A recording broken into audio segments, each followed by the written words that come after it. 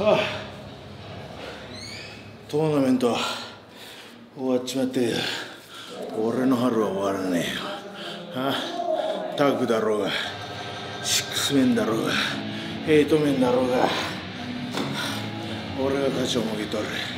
そして4月ジェフ・コーブ。ザ・セイバージュニア。シング決まったな。あザックはチャンピオンシップだ、ニュージャパンカップ。ザックが優勝したら面白いな、そしたら俺がそう取ってやる全部。